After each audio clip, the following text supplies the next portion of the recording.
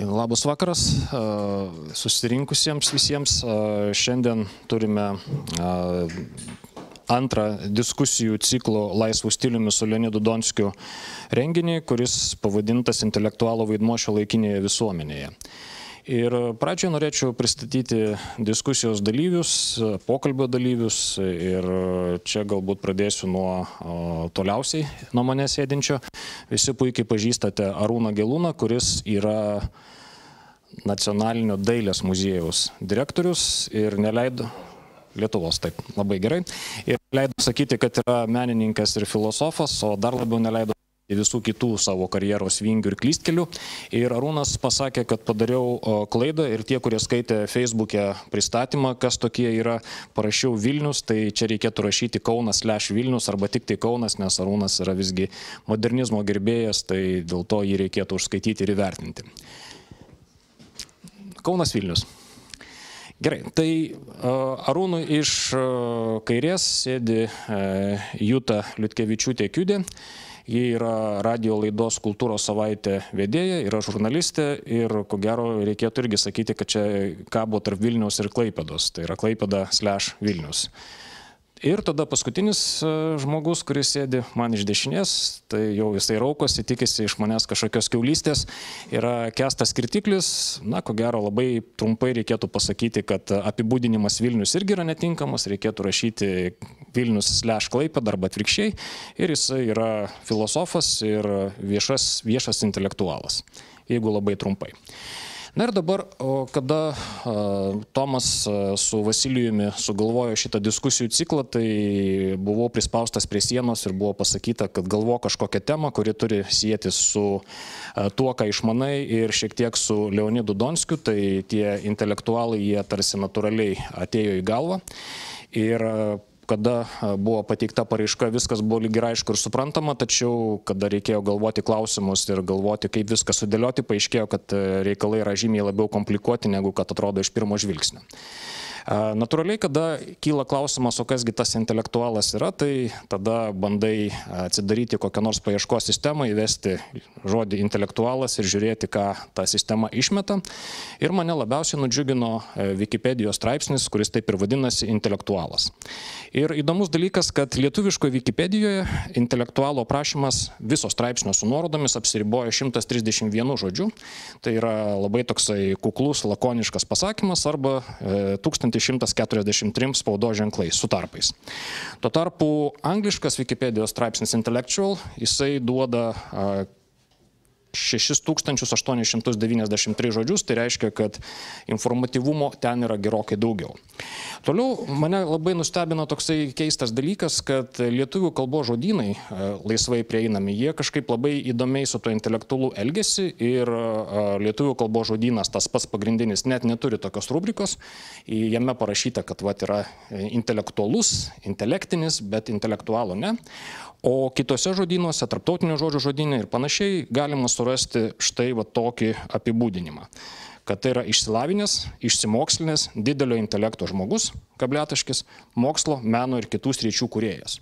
Tai pagal šitą apibūdinimą taip išeitų, kad ko gero didžioji dalis čia susirinkus, jeigu ne visi mes esame intelektualai ir ko gero būtų galima dėti tašką ir sakyti, kad čia viskas aišku, diskusija baigėsi, bet a, nelaimiai dar 2008 metais Leonidas Donskis parašė vieną straipsnį, e, kurį pavadino intelektualų eros pabaiga Lietuvoje prieš 12 metų. Ir a, jisai, Leonidas mini tokius laisvuosius intelektualus kaip Richardą Gavelį, Vytautą Kavolį, Aleksandrą Štromą, kurie jo manimu turėjo didžiulį poveikį Lietuvos kultūrai bei politikai, tačiau kadangi 2008 metais ne vieno iš jų nebebuvo gyvo, tai Donskis jisai sako, kad vat, intelektualų era baigėsi ir nieko gero iš tų intelektualų dabartinių mes tikėtis kaip ir negalėtume. Dabar, jeigu pažiūrėtume dar atidžiau, tai po Donskio dar vienas toksai pretendentas į intelektualo tokio aiškiai atpažįstamo ir žinomo poziciją galėtų būti Arvidas Šliogeris, bet jo irgi nėra. Maža to, pats Šliogeris negalėjo pakesti žodžio intelektualas. Ir čia galbūt irgi šį bei tą pasako apie tai, kokia yra šito žodžio prasme arba jo konotacija ir kitokie dalykai. Ir dabar šitoje vietoje mes turime tokį kontrastą. Lietuvių kalbos žodynai sako, kad čia mes visi intelektualai. Donskis sakė, kad intelektualai jie kaip ir jau savo misiją atliko, era baigėsi ir natūralu, kad e, kyla klausimas, o kas tai yra. Žinome, kad yra visa eilė influencerių, žinome, kad yra visokių garsenybių, kurie lyg ir daro poveikį, tačiau su intelektualais mūsų situacija yra šiek tiek liūdnesnė. Na ir dabar, e, kadangi Kestas yra filosofas, jisai labiausiai linkęs atsakinėti abstrakčius klausimus, tai pradėsiu nuo jo, užduodamas, na, tokį nesudėtingą klausimą, o kasgi yra tas intelektualas, kokia šito žodžio reikšmė ir iš viso, ar būtų galima kažkaip tai paprastiems žmonėms išaiškinti, kas tai yra ir galbūt netgi gal galėtum užsimti poziciją tarp Donskio ir lietuviškų žodynų. Oi, čia jau šitas daiktas veikia, čia tik įrašymui ir gerai. Tai uh, šiaip jau ne, tu sakai, kad aš ne vienas filosofas, Rūnas irgi uh, yra, bet jau ką padarysi. Tai uh, painu čia taip, kaip, kaip pats ir nurodėjai atsakyti šitos klausimus. Mat, man, man šiaip jau atrodo, kad intelektualas yra toksai, na, vienas iš tų, kaip toks buvo, reiškia, filosofas Gailey, kuris sakė, kad yra tokie iš esmės ginčytini konceptai, iš esmės ginčytinos savokos. Žodžiu, mes niekada neturėsim tokių dalykų kaip demokratija, ar globalizacija, ar dabar neprisimenu greitai jo kitų, bet jis ten išvardino daugybę. Laisvė. Ne, jis tokius labiau politinius izmus, žodžiu, jis buvo politinis, politinis škotų berots filosofas, čia 7 ar 6 dešimtmetį netgi praeito amžiaus. Ir, ir man atrodo, kad čia vat, intelektualas yra, nu, vat kažkas, kažkas tokio, žodžiu, vat, kažkokia tokia savoka, kur, nu, jeigu žiūrėtumėm, kaip vartoja Aiškia, nu, yra lietuvių kalbos žodynas, ne, kuris yra tokio keistoj situacijoje, nes e, lietuviškas žodynas yra daromas tokiu principu, kaip iš tikrųjų yra. Nu, ką tas žodis iš tikrųjų reiškia. Paskui, kad valstybinė kalbos inspekcija paskaičiusi žodynę galėtų jums pasakyti, toks žodis yra arba tokio žodžio nėra ir jūs neteisus. Ir mes, mes galėtumėm jūs nubausti, bet mes labai geri ir mes nebausim. E, Leonidas Donskis turi normatyvinį, aiškiai normatyvinį intelektualų apibrėžimą čia. E, aš stebiuosi, aš susiradau tą straipsnį, tarp kitko, ir labai nustebau, kad Tomo Venslovos nėra. E, tai na, tas man taip, taip nuoširdžiai pasirodė keista, nes va būtų ir gyvas, ir, ir pagal tai, kiek jam metų ir kiek jis veikia, tai gal net nemirtingas toks kaip, kaip, kaip kai kurie kiti lietuvių filosofai, kurie čia galėtų būti intelektualais. E, bet, bet e, šiaip jau tai ko blogo ar ko gero, e, abu šitie požiūriai yra teisingi ir dar teisingi turbūt yra dar begalė kitų požiūrių. Tai dabar man, man gal įdomiausias yra toksai, nu, kaip ir tau, čia skaičiavai žodžius Wikipedijoje lietuviškai. Tai man įdomu, kaip žmonės vartoja žodį intelektualas arba intelektualus. Tai uh, dabartinių rinkimų proga e, tie, e, mano galva, nesakysiu intelektualai, bet protingi žmonės, už kuriuos aš balsavau, bet jie nelaimėjo, e, agituoja už kitus ir intelektualus kandidatas. Yra labai dažnas, nu, labai dažnas apibūdinimas, reiškia toks, va, toks kokybės ženklas. Tai, tai, tai tas intelektualus gali būti nu labai įvairiai, reiškia, jis tiesiog, jis gali reikšti labai daug ką, jis gražiai dėlioja sakinius ryš kalba.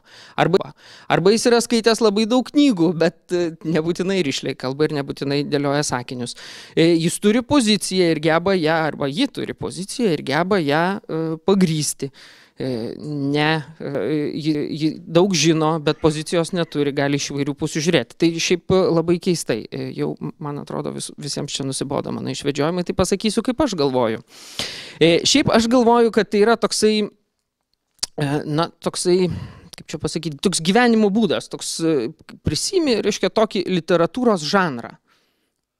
Bet tokį tekstų, ir, reiškia, intelektualas yra toks žmogus, kuris nu, kuria tekstus. Jie gali būti ten kritiniai, jie gali būti nekritiniai, jie gali, jie gali būti labai protingi, labai daug knygų esi paskaitęs ir sakai, kaip viskas ten sudėtinga pasaulyje. Arba kaip tik gali labai gerai pagrysti ir, ir mažai esi skaitęs, bet vat, jau savo vagą tai gebi arti, nežinau, labai aršiai. Tai e, aš sakyčiau taip, tai yra nu, tiesiog va tokia, nu tokia tavo užimama funkcija viešojo erdvėje. Tam, tik, tam tikro tipo tekstų kūrimas, kuriuose tu kritikuoji. Nu, iš principo literatas, taip, tik ta literatūra labai specifinė, ne visada grožinė, ne visada graži. Aišku, na, situacija, kiek spėjau, dar labiau susijaukia, nes e, mano ta tokia priešprieša tarp e, žodino ir Donskio buvo lyg ir paprastesnė ir paaiškėjo, kad tarpe yra gerokai daugiau tokių atspalvių ir pilkų niuansų. Dabar norėčiau paklausti Jūtos, nes jinai yra ta žmogus, e, kuris yra už kadro, kurios dažniausiai nesimato ir ji kaip laidos vedėja turi padaryti tokį keistą dalyką - atrinkti pašnekovus. Tai pavyzdžiui, man dabar būtų smalsu, va, Tarkestas turėtų šansą kaip intelektualas patekti į Jūtos laidą. Ai, yra, tai, tai tada viskas labai gerai, vadinasi, čia šitą klausimą galima atsimti, jo nebuvo. Tai, tai, tai. tai dėl to aš ir esu tik moderatorius, o jūs garbus svečiai. Tai. Tai va, tai, nes mane domintų toks paprastas dalykas - atrankos kriterijai. Vat reikia kiekvieną savaitę ar, ar kas kažkelintą dieną surasti pašnekovus ir tie pašnekovai jie turi atitikti tam tikrus standartus. Ir dabar Kestas sako, kad e, intelektualai rašo tekstus, tai, tai čia Jūtos laidoje, kiek suprantu, intelektualai jie ne tik rašo tekstus, bet ir turi kažką tai pasakyti ir kažką pranešti. Ir man dabar įdomu, o ar intelektualo savoka, vykdant atranką yra aktuali, ar yra bandoma atsirinkti pagal tą tokį tariamą menamą intelektualumą, ar visgi yra kiti atrankos kriterijai, intelektualumas čia yra visiškai toksai kaip ir anapusinis dalykas ir ne visai reikalingas. Ačiū už klausimą, sveiki visi. Uh, Tai iš tikrųjų turiu nuoširdžiai pasakyti, kad kai mastu apie pašnekovus ir apie temas, aš vedu laidą kiekvieną savaitę, tai yra tokia kaip ir tas laiko tarpas įpareigoja žiūrėti, kas įvyko tą savaitę, nesirinkti bet kurio intelektualų, kuris man ar kuri man patinka. Tai intelektualumas tikrai nėra sąraše tų savybių, kurios man būtų svarbios rengantis pašnekovą.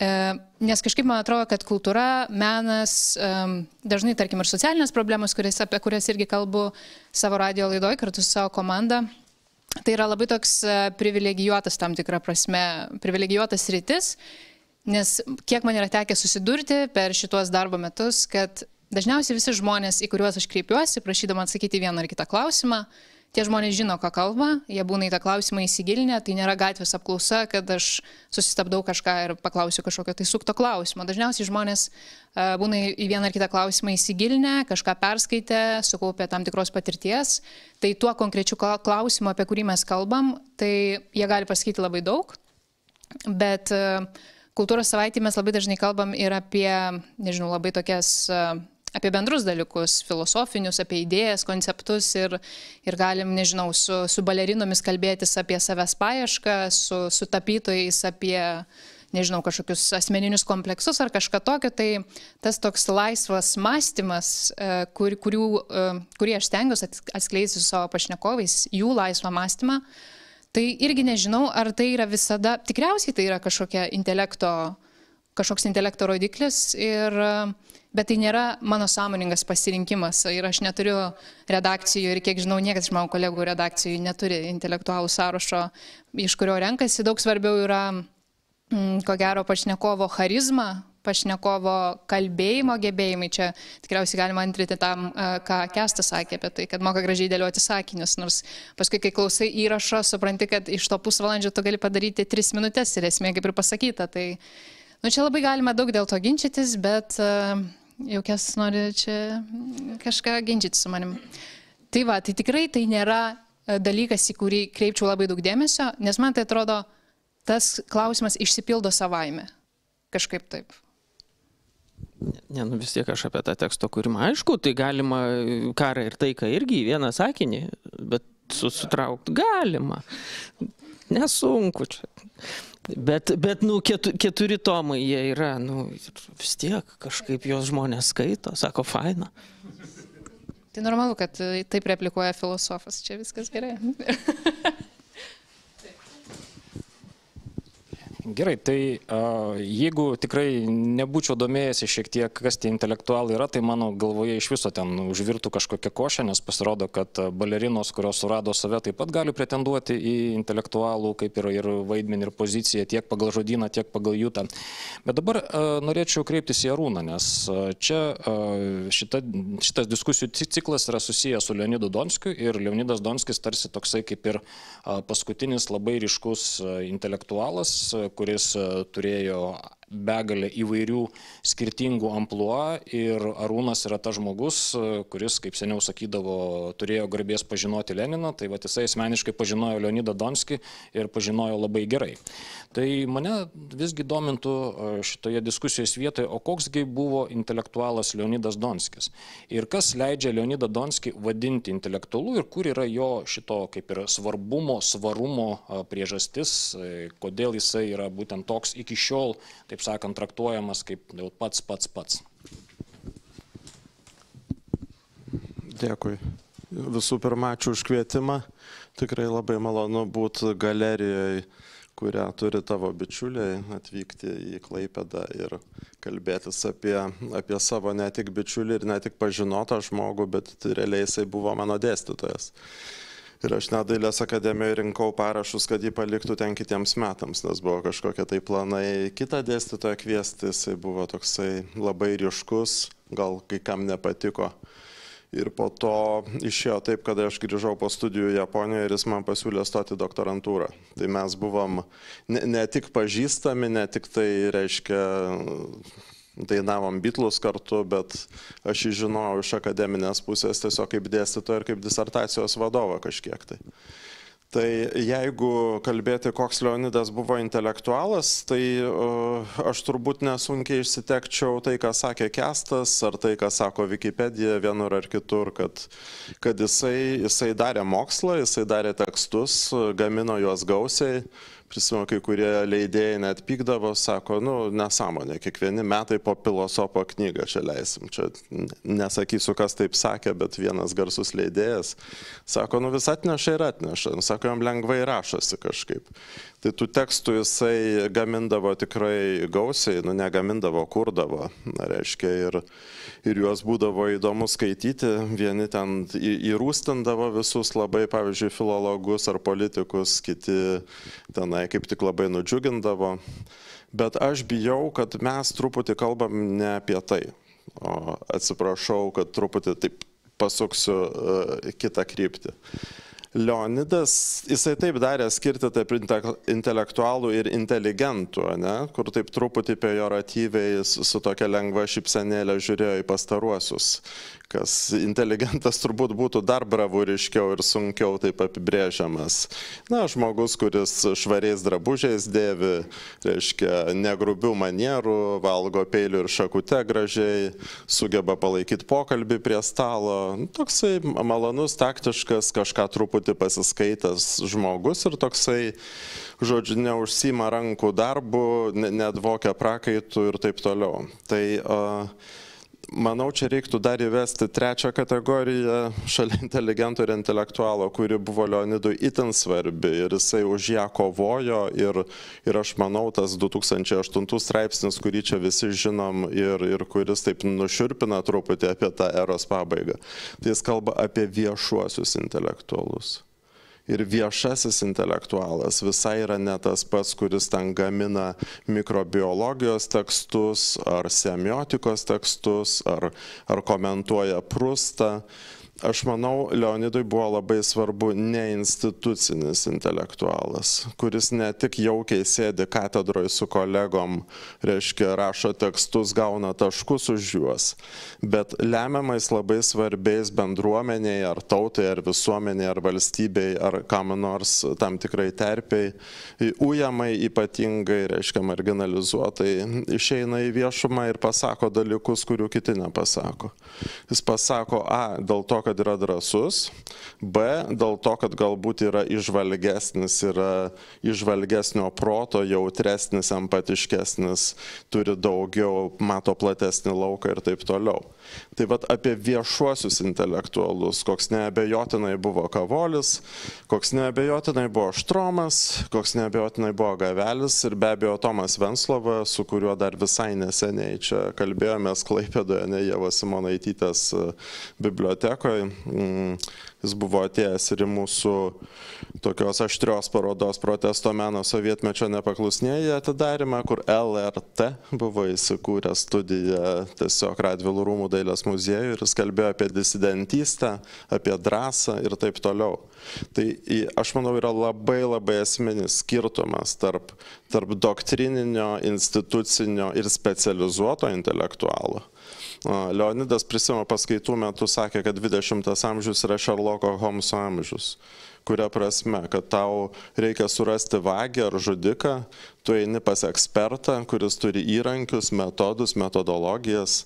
Šarlokas reiškia ir jisai atseks turi tą fantastišką dedukcijos dovaną, jisai turi tą aparatūrą, metodą ir jisai atseks. Ir, ir 20 amžiui tas influenceris ar, ar ta asmenybė vat, yra toks specialistas. Tai Leonidas nemėgo specialistų, jam patiko generalistai labiau. Aš ir pas save prie, prie tokių priskirčiau, man yra įdomiau ta jo mėgta dar ankstesnioji intelektualo forma, kai jis, pavyzdžiui, yra gydytojas, bet jis skaitė Šekspyrą, moka kažkiek tapyti, labai laisvai gaudosi politinėse realiuose, diskutuoja salone. Jisai nėra ten akies nervo chirurgas, kur išmano ir kurį ten gabenasi į Singapūrą e, operuoti, nes jis yra žiaurus vat, to nervo Šerlokas Holmsas. Tai e, manau, čia yra labai aiški skirtis tarp, tarp to, ar tu labai gamini specializuotą tą tekstą. Ir taip, intelektinė veikla yra tavo, tavo darbas. Nu, prasme, tu vilka kojos penį, o tave penį pilkų ląstelių judesiai, kažkokie atradimai išdėstyti teksto pavydalu. Ten kokie nors logikai rašo pusantro puslapio ir gauna labai daug taškų, filologai rašo 37 puslapius, ten daugiau jiems reikia. Bet manau ir viena ir kita truputį donskiškoji paradigmoje šitoje netelpa nes jisai nori, kad tas intelektualas iš savo katedros šilumos, tos jaukios bičiulių, žengtų į išorės šaltį žingsnį kuris iš karto pasijunta nesaugus, iš karto nukreipiamos strėlės, jis iš karto yra diskomfortiškoje teritorijoje, jisai gali prarasti tos savo akademinės ir visokias kitas institucinės garantijas, visokias regalijas ir taip toliau. O ir ne, neretai taip ir atsitikdavo kultūros istorijoje. Tai, sakau, institucinis truputį doktrininis specialistas ir viešas intelektualas, kuris rizikuoja kalbėti ir apie tai, ko tiksliai kaip specialistas neišmano, bet truputį, kaip jų tas sakė, balerinos gali kalbėti labai neblogai apie savęs paieškas. Ar, ar, ar, ar tapytojas apie, apie vienatvę, apie mispercepcija visuomenės ir taip toliau. Tai o, čia, čia yra daug rizikų, apie jas mes turbūt dar pakalbėsim. Reiškia, kas tu toks esi, kad tu čia viską komentuoji, iš kur tu čia atsiradai. Tai Leonidų irgi taip sakydavo. Tai jisai ten toks net ne filosofas, jis ten kažkoks idėjų istorikas, jis ten ortodoksijas kažkokias pažeidęs yra, jis necituoja Heideggerio laikų, jis necituoja tenai, nežinau, ką buvo populiaru cituoti, užkrito pavardė. Gerai, tai jeigu pradžioje atrodė viskas čia lyg ir nieko, dabar Arūno pasisakymas jisai rodo, kad na va čiagi tragedija, vat, nu, viešasis intelektualas yra kažkoks tai parijas ir man pirma asociacija yra su Platono valstybės septintąją knygą garsiaja Olos alegorija.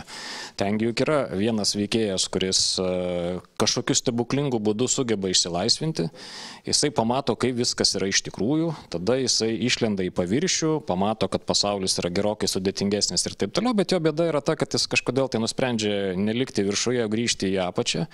Ir tada, žodžiu, pradeda įtikinėti savo šitos bendrapiliečius, kurie, kurių percepcija yra tokia labai minimalistinė ir specializuota, kad vis viskas yra truputį kitaip. Na nu, ir aišku, jam baigėsi labai negerai. Jį tiesiog patvarko tie žmonės ir kažkaip tas viešas intelektualas, jisai toks, na, tokia nelaiminga, tragiška figūra. Ir man tada... Aš labai noriu greitai reaguoti, kai Kestas sakė, Kai Kesas sakė, gamina tekstus, man iškart tink Sokratas. Ir dabar, kai pasakė Platonas ir Ola ir Ropšėsi, Sokratas nerašė tekstų, bet jisai tiesiog palaikė dialogą, kritikavo, kritikavo tą aristokratinę aplinką, buvo už tai nuteistas miriop. Tai vat, toks pavyzdėlis gana stiprokas, labai ankstyvas irgi žmogus ne institucinis, ten kažkur tai gatvėje sėdi, kalbasi su tais mokytais jaunuoliais.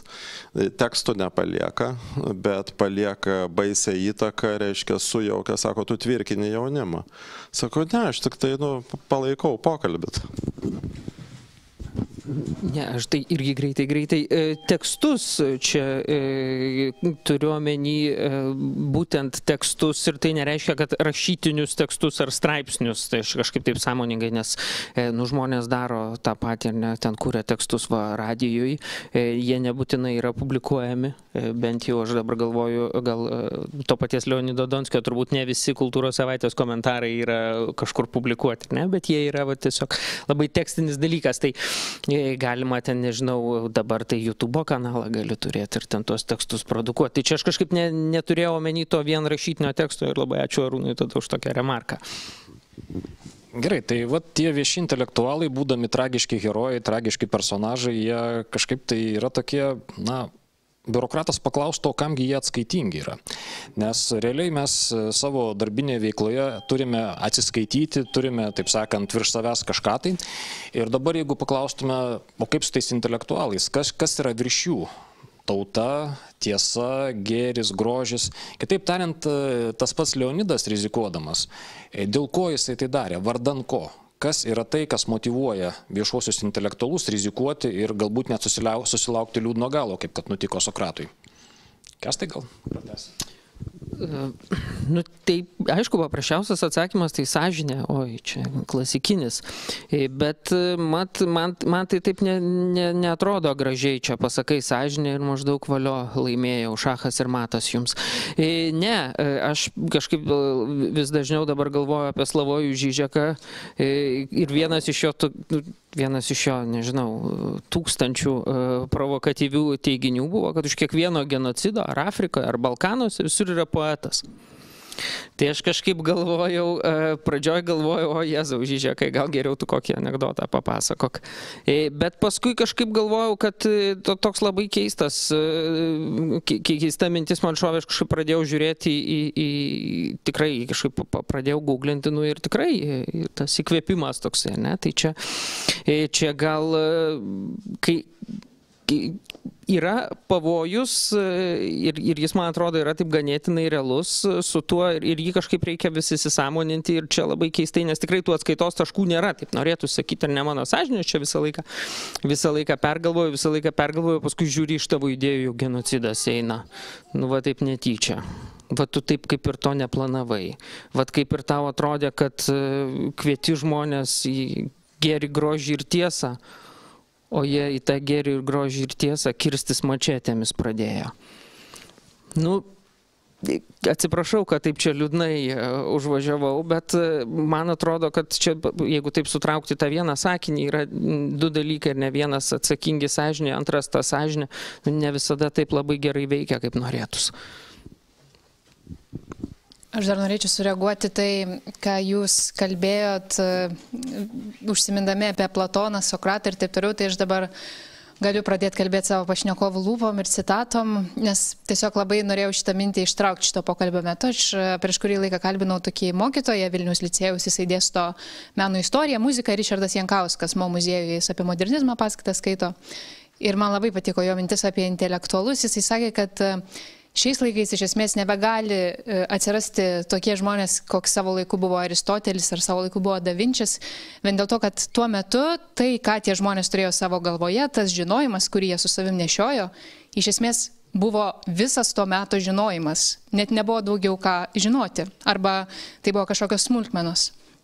Tai ko gero ir čia replikuojant į tai, ką jūs arūnai sakėte apie tą savo srities specialistą, kad kažkokį va, akies nervą, kuris, kuris, kuris operuoja, galbūt jis nebūtinai toks įdomus, bet galbūt kaip tik tais laikais, kada jau Aristotelį ir Davinčiai nebegali gyventi dėl to, kad informacijos tiesiog yra per daug, kad tai būtų vieno žmogaus žinojime, gal kaip tik tada mes galim žiūrėti tik į srities specialistą.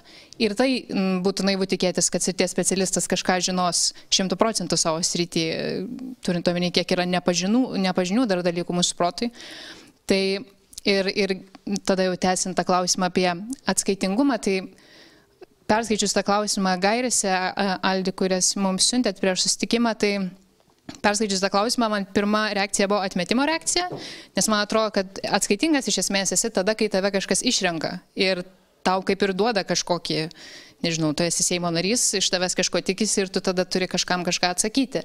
Ir tas toks e, intelektualos suvokimas, kaip kad jis yra kažkam atskaitingas, man atrodo, yra toks, na, labai iškelimas žmogaus ant piedestalo, kad mes dabar turime tikrinti, kam jis e, kam jis atskaitingas, ar jis sąžiniai, moraliai, ar, ar kažkokiai va, grožiui, gėriui ir tiesai. Tai gal tai tiesiog yra per daug, man atrodo, reikalauti žmogaus, nes intelektualas, kad ir koks jis bebūtų, nugi vis tiek nešventieji podus lipdo ir man atrodo kažkaip paprasčiau galima į juos žiūrėti, tiek daug nesitikėti ir jeigu mes iš jų kažką gauname, ar gavome, kol jie dar kūrė kažką ir, ir rašė tekstus, tai tiesiog džiaugtis tuo ir tuo naudotis, o ne ieškoti, kam jie čia galėtų būti dar labiau atskaitingi ir ką pasakė ne iki galo ir panašiai. Tai va, toks trumpas pasažas. Pagalvojau, kad supriešinsiu dabar žiniasklaidą su socialinėmis medijomis. Pavyzdžiui, kai Jūta savo laidoje kalba, ką nors kalbina, nu, priskaldytų malku, pavyzdžiui, pakviestų smurtų į žmonės nu, aišku, absurdas tą įsivaizduot, bet išsisuktų kažkaip, va, kaip Kestas sakė, tas poetas, užgimtų ta, ta, ta įstra šalinti negerovės ir, ir pasakyti, ateikime į Lukiškių aikštę su, su kuo keliamis, reiškia, kaip Cveigas aprašo, kad nacistai šoka iš sunkvežėmio, tokie treniruoti labai augaloti vaikinai ir sumuša socdemų demonstraciją. Nu, vad kažkam panašiam prasprūsta. Nu, man atrodo, jinai būtų atleista kitą dieną. Iš tikrųjų, Monika išsikviečia, sako, Jūta, tu pažeidži įstatymus, ten tokį straipsnį žiniasklaidos ir viskas. Ir realiai mes esam diskutavę, man atrodo, su Reinu Raudu ir tokiu islandų poetu, kurio aš dabar neprisimenu, jis labai geras. Tai o, knygų mogiai. Apie, apie tas labai panašias temas ir ribas, kurias savo gali leisti intelektualas ar, ar bet koks komentuotojas socialinėse medijose. Reiškia, iki kiek toli tu gali eiti tai nu, realiai tave vis tiek riboja įstatymo viršenybė kaip toks. Je, jeigu tu kvieti labai akivaizdžiai pažeisti įstatymą, ten ar smurto linkme, arba ten nemokėkite mokesčių, net nesiskiep, nesiskiepykite, ne, skatinimas, reiškia visi čia serga, krenta mokyklos užsidaro, tu šokis, sakai, čia, čia sveikatos ministerijos tie nurodymai yra absurdas, reiškia stop skiepus, viskas. Na, tai, tai, tai pakvimpa dalykais, reiškia, su, su prokuratūrom, su, su teisės sauga ir tas stogas jisai labai greit nuo jį atsimušia. Bet realiai aš manau, kad na, net ir visai ne tai turėjo omeny Leonidas, kalbėdamas apie viešuosius intelektualus, ten nuo teisingai Aristotelis rašė dar, profesorius Plečkaitis sakė, buvo toks reiškinys kaip aristotelinis šamas. Jisai rašė ir apie zoologiją, apie ichtiologiją, apie žuvis, apie botaniką. Taip, jie ten buvo tokios enciklopedijos, reiškia. Kažkas sakė, kad kanto laikais kanto žinios prilygo dabartinio abituriento žinioms. Tai nu, ta, ta žinojimo teritorija na, baisiai išsiplėtus. Bet socialinėse medijose, jeigu tu kvieti ginti tikrą islamą ir ten patvarkyti kokią nors bažnyčią, arba priešingai, reiškia prieš islamą ir gal sudeginkim kokią, kokią nors mečetę, nes ten yra šetono irštva, tai, tai tos ribos kažkaip tai iš karto atsiranda labai greitai savaime. Ir, Aš prisimenu, mm, Prancūzijoje buvo atvejis, kai, kai vienas teatro kūrėjas irgi tiesiog peržengė ribą savo kūrybai, kuri laisva, nereglamentuojama, viskas galima, bet ten buvo dalykai apie rasę, apie smurtą, apie dalykų aiškinimąsi jau, jau visai ne tais būdais, kuris yra žodžių mūšis ar savokų mūšis ar argumentų kalba, bet, bet tiesiog peržengti raudoną liniją ir patekti į smurto teritoriją. Tai o šalia tos sąžinės ir tiesos ir įsivaizduojamų šitų labai gražių kelrodžių idėjų, aš manau, nu elementariai yra įstatymas, kur, kuris tave visiškai elementariai riboja ir, ir tu negali. Nu, Facebook'e pabandyk įdėti kokią nors Venerą neprisidengusią, iškart kas nors parašys, kad tu, kad tu platinė erotika ir išimsta tavo ar už, užblokuos vaizdinį. Tai kai kurie dalykai vyksta automatiškai tiesiog. Ir ir, mm, ir vat, kiek tos laisvės teritorijos lieka tam viešam intelektualui, e, ar jos lieka vis mažiau ir mažiau, ar priešingai ten naujos medijos jos atveria vis daugiau ir daugiau. Tai, tai yra klausimas, kuris domino ir Leonidą. Ir e, tam straipsnis ir kalba, kad nu, kadangi Lietuvoje tas laisvas viešas intelektualas negali jaustis saugus ir, ir tiesiog nėra mechanizmų, kurie kažkada ten spinozai užtikrino na, buvimo būdus Olandijoje ar, ar kitiem. Tai jis pradeda mėgdžioti mm, žvaigždės, to influencerio ar, ar, ar pop žvaigždės ar žiniasklaidos žvaigždės kelią. Man atrodo, kad taip jis iš dalies bandė pasiteisinti už tą laidą be pykčio. Kodėl akademinis filosofas, dvigubas daktaras, ne vienas iš VU, kitas iš Helsinkio universiteto, atsiranda kaip koks daktaras Unikauskas, reiškia, ir, ir, ir gydo pašnekėsiais apie, apie žmogaus teisės, apie toleranciją, laisvę, liberalizmą ir taip toliau. Tai O aš tikrai nesitikiu, kad mes iškristalizuosim kažkokį tai Wikipedinį apibrėžimą, tokį labai, kurį bus galima sukalt. Bet maždaug teritorija, kur vaikščiojo Leonidas, nu, yra tokia pakankamai aiški, reiškia. Ir ypatingai nušviečiantis terminas yra tikratikiai, kurių jis nekentė. Ne, jis pripažino tą žmogaus, žmogaus savybę, kad tu gali suklysti, kad tu gali nežinoti visos tiesos. Jeigu mes pažiūrėtume į Orbano Vengriją, tai, tai būtent yra įvykę atvirkščias dalykas man teko kalbėti Budapešto vienoje auditorijoje, kurio specialiai padėkojau Sorošui, reiškia viešai, kad Lietuvai davė daug gero. Tai moterėlė prisėlino viena po paskaitos ir tyliai sakė, oi kaip jums ačiū, kad jūs čia taip drąsiai čia. Mes irgi, nu taip galvojam, bet vat nedrįstam tai pasakyti. Tai čia yra įvykę toj visuomeniai tas blogis, nuo kurio prevencija buvo tokių kaip Leonidas vieša veikla. Ir e, aš nežinau, kaip dabar Adamas Michnikas jaučiasi dabartiniai Lenkijoje. Darau prielaidą, kad jaučiasi ne kaip. Reiktų jo paties paklausti. Gerai, tai dabar mes čia atsidūrėm tokioje įdomioje teritorijoje, nes e, čia tarsi buvo kalbama apie, na, saliginai tą tokį civilizuotą pasaulį, kuriame, na, fizinis susidorojimas e, intelektualams, net ir viešiesiems kaip ir negresia, gali būti įvairių sankcijų ir taip toliau, bet, na, realiai jie yra kaip ir saugus. Bet jeigu mes prisimintume vieną iš tokių stereotipinių frazių, kurios yra siejamos su viešaisiais intelektualais, tai yra tokia, kad intelektualo pareiga sakyti tiesą valdžiai. Sakyti tiesą tiems, kurie turi galią. Ir jeigu mes šiek tiek pasistumsime, tarkim, į rytus - Baltarusija, Rusija, Kinija. Ir tada tarsi pačioje pradžioje atrodė, kad tu arūnai lyg ir sakai, kad intelektualai turi tam tikras ribas ir jie net neturėtų daryti kažko tai.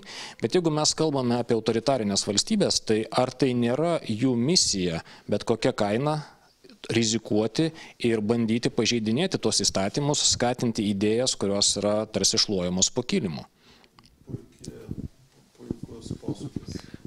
ir ir, ir man atrodo, čia mačetė, ta, kuri į šviesą geri, geri grožį ir tiesą jau skina kelią, e, ji čia labai tokį keistą vaidmenį gali suvaidinti. Iš ties man irgi labai kirbėjo sureaguoti į šitą tokį, nu, va, mes čia turime įstatymams, įstatymams mes turim. Ir aš labai, kažkaip viskas dabar jau reikia, jeigu gerai, gerai, gerai, tai čia mes, o jeigu blogai, blogai, blogai, tai Rusija. Nu, ta Baltarusija. Bal Baltarusija dabar yra labiau, nes visi staiga sužinojom, kad čia tokia egzistuoja. E, žodžiu, bet, bet Vengrija, ačiū, va, puikus pavyzdys Vengrija. Tai man taip iš karto geriau yra. Aš, Vengrija, Lenkija, man, mano, mano štai draugai kokie Lenkija, ar ne, kurie ten negali apie, apie būdami padorus docentai universitetuose, negali be kiek smažodžių apie e, tiesą ir teisingumą, ar kaip ten ta partija vadinasi, kalbėti. Nu, jie tiesiog negali. Tai dabar, tai dabar va, kad iš tikrųjų, e, vat Vengrijoje paisyti įstatymų, ne? Kaip, nes te, šiaip kaip pagalvoju, Vengrijoje tai tokia yra didelė ta, tokia, va, tokio, tokio vakarietiško intelektualo, ne kur čia mes dabar viešojo, ne, ne, ne, nežinau, tradicija. Nu, tai kažkaip Nu, aš ten gerai pagalvojęs dabar, aišku, irgi ne vienos pavardės neprisimenu, kai reikia, bet iš, išvardinčiau ir, ir taip iš, iš amžinojo imperatoriaus Juozapo antrojo turbūt ten vieną kitą laikų. Aš jau galiu perimti žurnalistės. Ką? Ar jūs norit papildyti gal kažką? Aldi, gal jūs norit papildyti? aš, aš suspėsiu, Jūta, prašau. Ne, dėkui, aš neturiu ką pridurti. Nu, tiesiog, tiesiog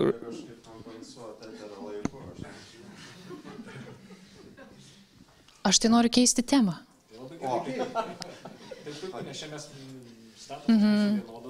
Nes e, kažkaip, kai, kai aš gavau šitą malonų labai kvietimą dalyvauti šitoje diskusijoje, iš karto buvo tokia nuojauta, kad mes tikriausiai paliesim ir Aldi gali stabdyti mane, jeigu dar ne dabar norit liesti tą klausimą, apie tai, kodėl tie intelektualai nėra taip aktyviai mūsų visuomeniai, kodėl jų nėra tiek daug, kiek galėtų būti, kodėl juos mes nekreipiam tiek dėmesio, kiek galėtume atkreipti, kodėl kultūros savaitės nesiklauso visa Lietuva.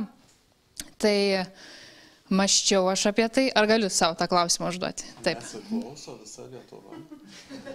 Ar galite to patikėti? E, Tai aš kažkaip išvedžiau tokią labai įdomią paralelę, kad vis dėlto, kad ir kokie mes bebūtume intelektualus ir, ir, ir kalbėtume apie moralę ir sąžinę, vis dėlto pasaulį tikriausiai aplinka šį suka pinigai. Ir pagrindinė prekė šiandien e, pasaulyje yra žmogaus dėmesys ir laikas. Ir mes iš esmės matom, už kokius didžiulius pinigus ir kaip neapsakomai talentingai mūsų dėmesį ir mūsų laiką perka žiniasklaida, reklamos industrija, grožio industrija, socialiniai tinklai.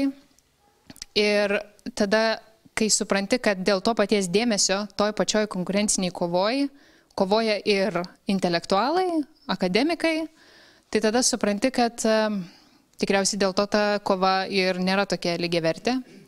Ir prisiminiau šiaip labai šaunų Lietuvos viešoji erdvėjai duetą, tai filosofą Kristupą Sabolių ir Tomą Ramanauskę labai daug šneka apie vaizduotę, apie kūrybiškumą. Ir, ir nebejotinai abu tikrai yra tokie šio laikiniai modernus intelektualai, bet man atrodo jų dueto sėkmė yra tai, kad vienas iš jų, Tomas Ramanauskas, yra absoliutus reklamos profesionalas, kuris labai gerai žino, kaip nupirkti žmogus dėmesį. Ir aišku, aš nenoriu numenkinti intelektualinių gebėjimų jų, nes jie tikrai verti to dėmesio. Bet ko gero tai ir yra atsakymas, kad e, kova dėl dėmesio yra labai įtempta ir būtų keista, jeigu kažkuris Vilniaus universitetas, e, ar šiaip Lietuvos universitetas daugiau investuotų į universiteto komunikacijos skyrių negu į mokslinės produkcijos e, gamybą. Tai ko gero dėl to ir yra taip, kaip yra. Tai žodžiu, paskau diskusiją savo malonę linkme ir dabar galime tęsti.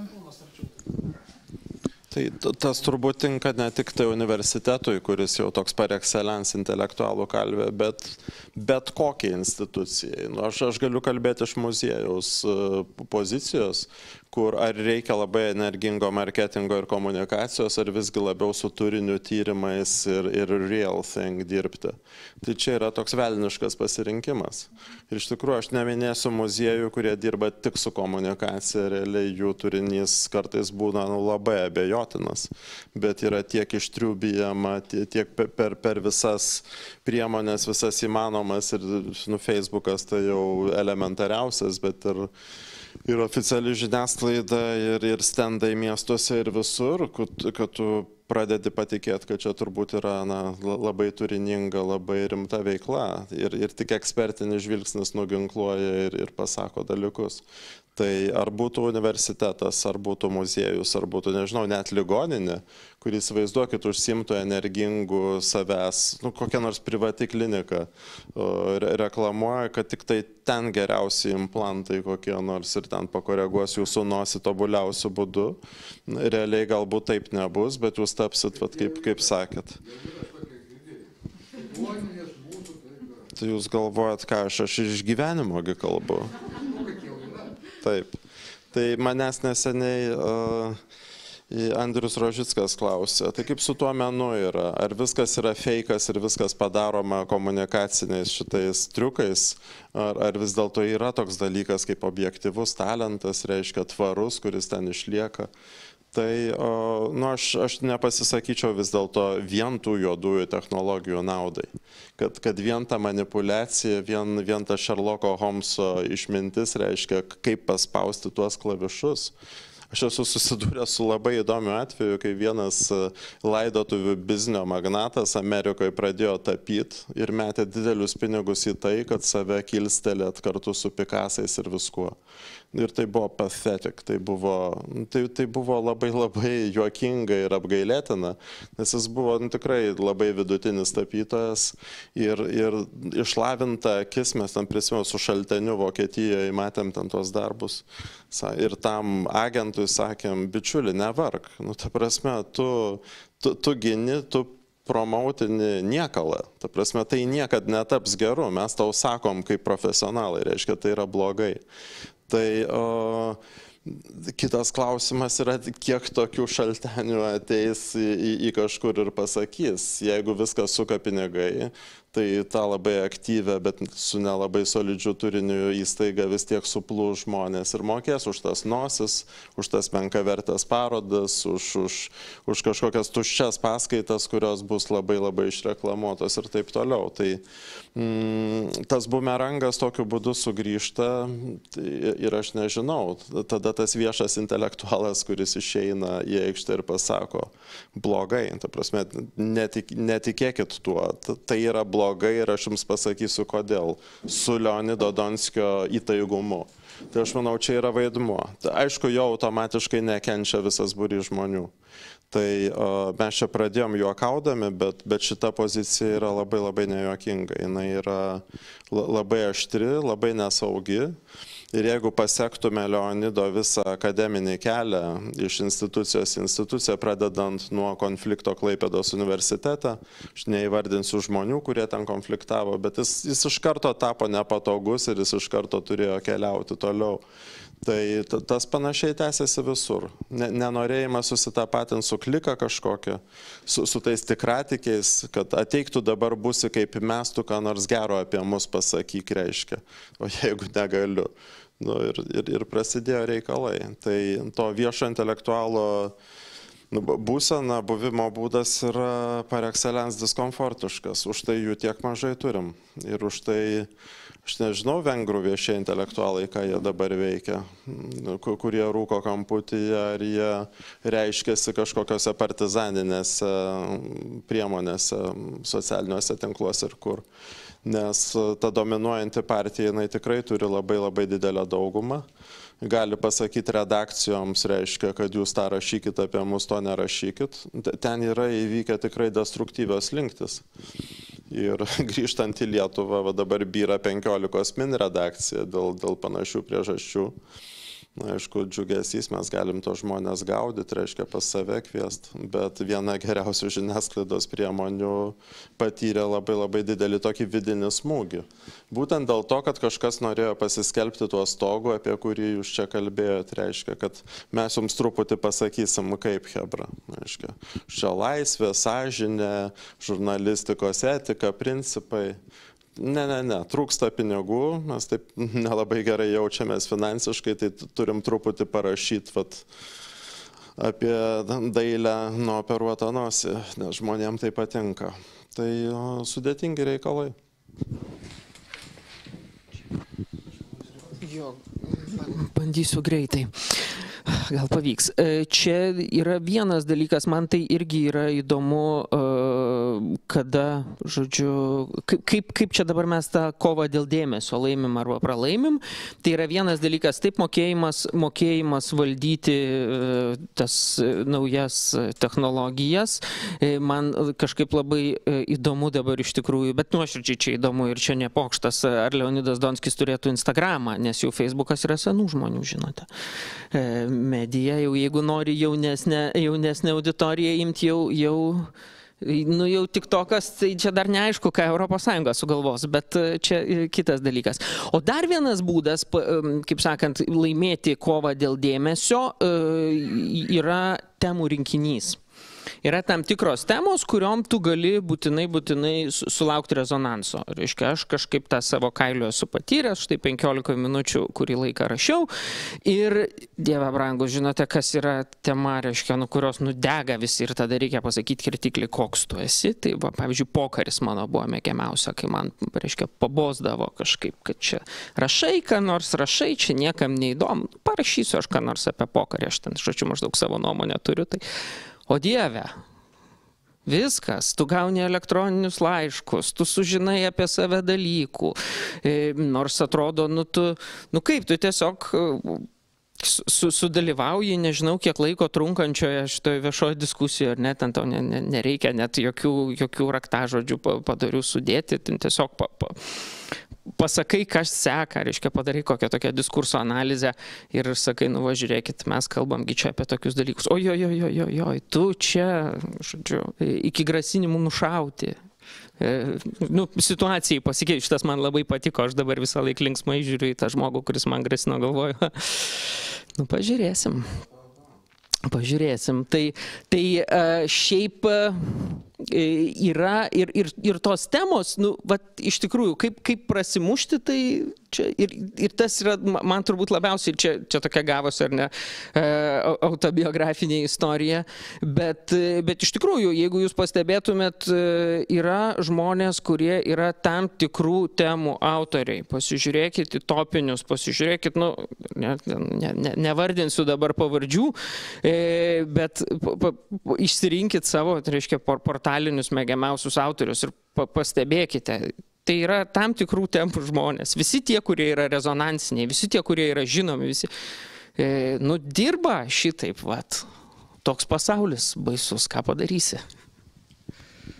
Pasaulis baisus, bet man tada kyla kitas klausimas, nes va čia jūs kalbate apie tai, kad e, žmonėms intelektualų nereikia, intelektualai išlenda ir tada paskaičius komentarus paaiškėja, kad čia, na, nu, jie kažkaip tai gadina nuotaiką, gadina kraują, savo tikslų nepasiekia. Tai gal iš ties čia yra geras ženklas, kad mes intelektualų dabar kaip ir neturime, viešų intelektualų era baigėsi. Nes jeigu pažiūrėtume į intelektualų va, tą, tai, ką jūs kalbate, tai kuo blogiau gyventi, tuo intelektualams daugiau galimybių kažką tai sakyti, kalbėti, ginti idėjas ir panašiai. Tai gal dabar Lietuva pasiekė tokį lygį, kada visi gražus, laimingi ir patenkinti ir mums tų intelektualų nevelnio nereikia ir galime puikiausiai be jų apsėti. Aš suprantu, Aldi, ką jūs darote, nes aš irgi dažnai savo pašnekovą mėgstu užduoti klausimą, kuris būna pasislinkęs į vieną arba kitą kraštutinumą ir tada tikiuosi, kokios nors aštrios nuomonės atgal, bet e, ir visada liūdžiu, kai žmogus atsako aptakiai, bet aš galiu atsakyti tik aptakiai, nes Nu, tikriausiai nėra viskas taip katastrofiška, kaip mes įsivaizduojam, čia tokia žmogiška prigimtis galvoti, kad štai mes matome, kaip griūna intelektualų kažkokia tai klasė Lietuvoje, arba štai mes stebime kažkokią tai griuvimą ar aušrą kažkokių naujų dalykų. Mm, tai ko gero, ko gero nėra ta eros pabaiga, ko gero tai būtų tiesiog didelė nepagarba taip sakyti, kad, kad, kad intelektualai Lietuvoje baigėsi, ar, ar jų nebėra tiem patiems žmonėms, kuriuos mes jau minėjom, Tomui Venslovai, Kristinai Savaliuskaitė, Irenai Vaišvilaitė ir daugybė kitų, kuriuos čia būtų galima vardinti, o sakyti, kad intelektualai, intelektualai klesti tada, kai mes blogai gyvenam, uh, Tai ko gero irgi turint omeny, kad nemaža dalis intelektualų vis dėlto yra akademinio pasaulio žmonės, tai šiandien Lietuvoje akademinis pasaulis na, tikrai nėra pati šauniausia, turtingiausia, šauniausia galbūt, bet turtingiausia visko aptekusi, aprūpinta e, ir, ir ramiai gyventi galinti sritis. Ir man atrodo nemažai intelektualų dirba per kelis darbus, aš su tuo susiduriu bendraudamas su savo pašnekovais, tai man atrodo, kad nemažai tų žmonių, kuriuos vadintume šiandien intelektualais, gyvena šiaip gana sudėtingom tokiom įtemptom sąlygom vien jau finansiškai, uh, kiek man pačiai tenka susidurti. O, o šiaip nežinau, galbūt tada, kai mes gyvenam šiek tiek geriau, mes matom, dabar man atrodo, kitą tokį judėjimą, kad uh, viešajam diskursė atsiranda daugiau pokalbio apie emocinę sveikatą, apie psichologinę gerovę, apie savęs pažinimą ir panašiai. Tai gal kaip tik, kai mes gyvenam gerai, uh, atsiranda laiko ir saugumo jausmas kalbėti apie šiek tiek abstraktesnius, bendresnius dalykus, pafilosofuoti apie tai, kas ta moralė, kas ta sąžinė ir panašiai, nes mes tam turim laiko ir nereikia rūpintis kažkokiais tai, uh, nežinau, pirm, pir, pirmo būtinumo išgyvenimo dalykais. Tai žodžiu, iš dviejų galų atsakiau tą klausimą ir taip ir ne, tai kolegos dabar. Jo, iš visų tų abiejų galų tai aš neįsivaizduoju visuomenės, kuri konstatuotų, kad jinai gyvena puikiai ir jau nebėra kritiko vaidmens ir, ir kur viskas padaryta. Ir čia aš nežinau, nu koksai nors sisteminis banko konsultantas gal pasakytų, va tie bankų, tie, kaip čia, ja, vadint, tie banko ekonomistai, ne, kurie, kurie išeina. O, Jo, banko ekonomistas, sako, ten Svetbank kažkoks, tai reiškia, Sebas, Nordėja ir taip, ir, ir išeina veidas, sako, Lietuva gyvena fantastiškai. Ten visi vidurkiai sukilę iki virš Europos vidurkius pralenkia, reiškia, ir nėra ko verkšlenti, čia labai emociškai viską vertina, tai reiškia, kai mato daug blogio. Ir tai yra šlikštuva, tai yra, tai yra priešingybė tam, ką, ką, ką realiai daro kritikas, ne, kuris kuris žiūri ne, ne į tos ružavus Vilniaus centro, reiškia, Porsche visus numerius ir visa kita, o, o žvelgia truputį kitaip, kaip Jūta pasakė. Jeigu dviem, kad ir Vilniaus universiteto dėstytojams reikia išlaikyti du vaikus, tai, tai jie turbūt verčiasi laksto po 3-4 darbus. Tik tai truputį nutolkim nuo, nuo Vilniaus, kad ir į tą patį Kauną ar dar toliau. Tai skurdo yra per akis, skurdo, kovos už išlikimą, tos socialinės neteisybės, vietinės valdžios savivaldžiavimo ir taip toliau. Yra masė. Nu, ta prasme, tai yra absoliuti iliuzija, kad Lietuva jau ten kažkaip tai pagaliau atsikvėpė. Nu, gal kažkokiais aspektais ir kažkokiose teritorijose.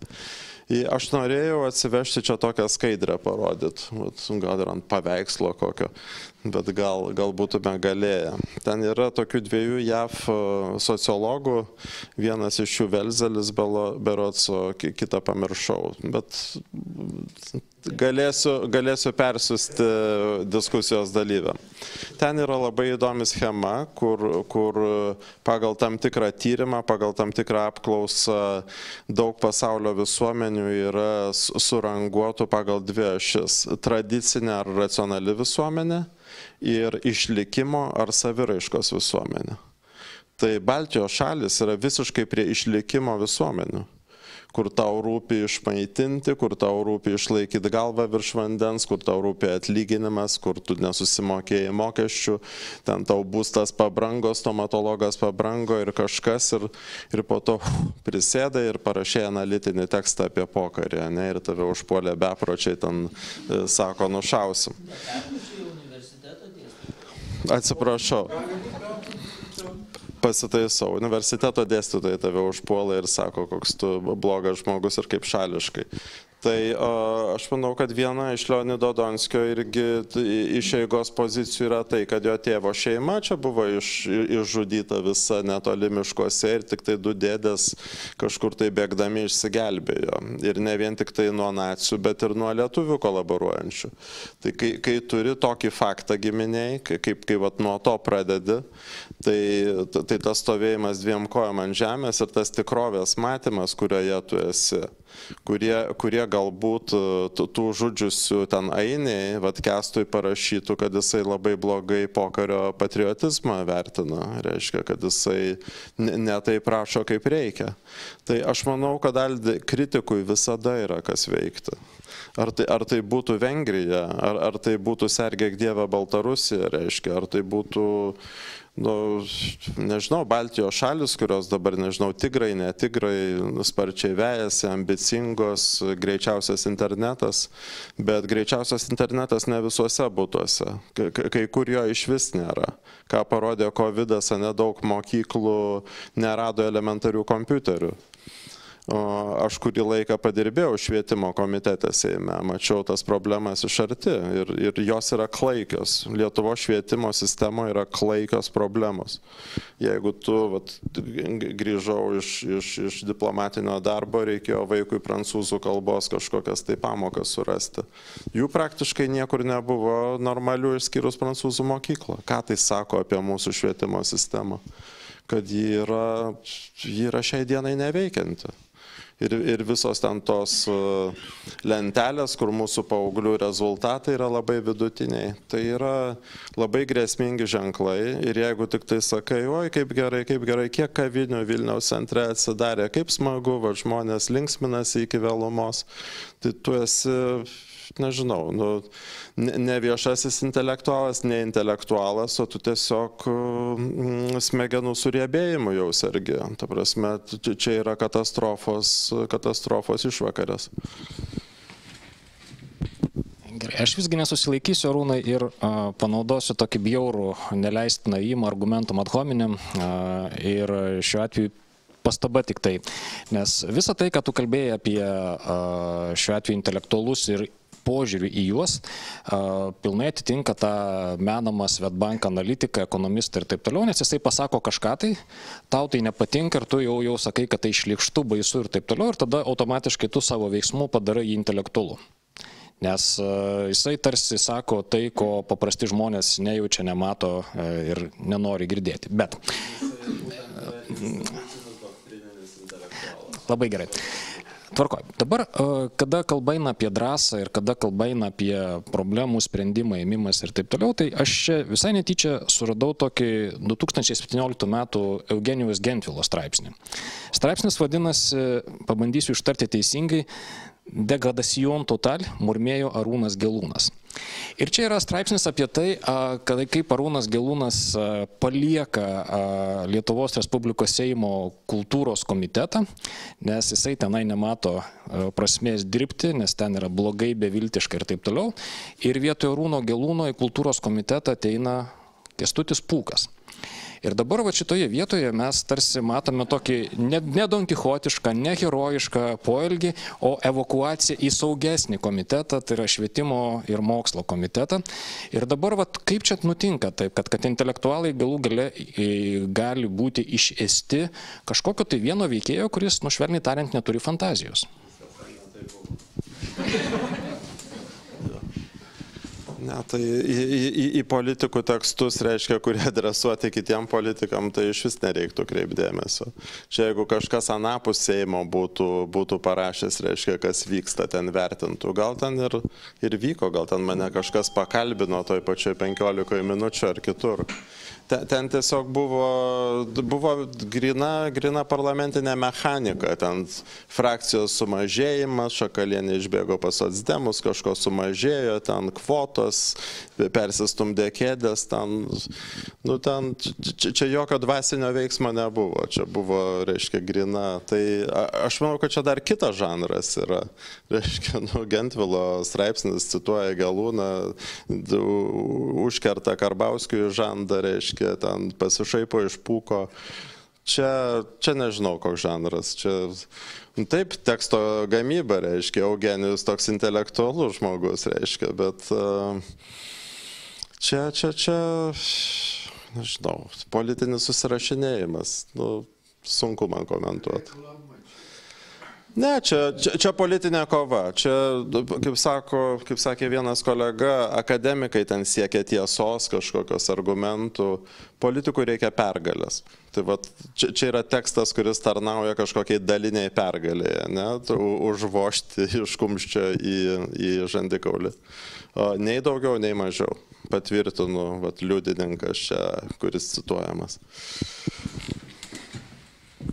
na, nepavyko, taip sakant, daugiau išpešti iš tos situacijos, bet, bet kokiu atveju mes vis tiek atsidūrėme tokioje įdomioje situacijoje, kur yra politikai, intelektualai. Ir šiaip man dabar visai įdomu būtų paklausti, o ką Jūs galvojate apie intelektualus, kurie atsiduria politikoje. Ir jie užima tam tikras pareigas, yra parlamento nariai, dirba vyriausybėje ar kažkur tai kitur ar jie išlieka tais viešaisiais intelektualais, ar jie tiesiog praranda savo įgūdžius ir sugebėjimus. Ir tuo pat metu o, kalba eina apie kultūrą. Kultūroje taip pat intelektualai jie gali institucionalizuotis ir tapti e, svarbiai žmonėmis. Ir tada man į galvą atėjo toksai vienas įdomus Nerijus Milleriaus straipsnis, jisai buvo toks, nespėjau, mažiausiai 10 metų jam yra, jeigu nedaugiau, kuriame jisai pas, pa, pa, padarė tokią labai įdomią distinkciją. Jisai sako, kad e, Lietuvoje politinis gyvenimas yra prastas, tačiau politinės laidos yra labai geros. Su kultūriniu gyvenimu yra atvirkščiai. Kultūrinis gyvenimas yra gerokai aukštesnis negu laidos apie kultūrą. Ir klausimas yra, kodėl taip yra ir, ir, ir kaip tada suderinti kultūrą, intelektualumą, politiką, intelektualumą ir panašiai. Ir kadangi jūta jau nerimsta, tai tada perduosiu mikrofoną jai. Čia labai daug klausimų, labai daug klausimų viename klausime. Tai dabar bandau išskaidyti juos savo galvoj. Dėl laidų, pradėkime nuo laidų. Taip, aš negaliu meluoti, kad, na ne, mes jau kūrėme tokias geras laidas, aišku, kad jas visada galima kurti geresnės, ypač kai pasižiūri tai, kokią produkciją gamina užsienio transliuotojai, tai aišku.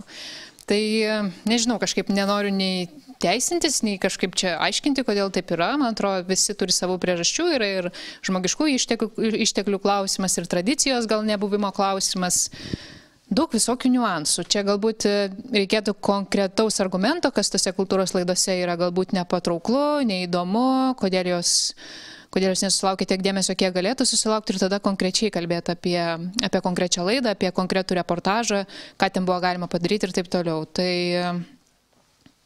Tai jo, gal tikriausiai būtų taip. Bet kalbant apie apskritai intelektualų vaidmenį kultūroje, aš ir vėl suleidžiu šnekėti tai, ką noriu šnekėti.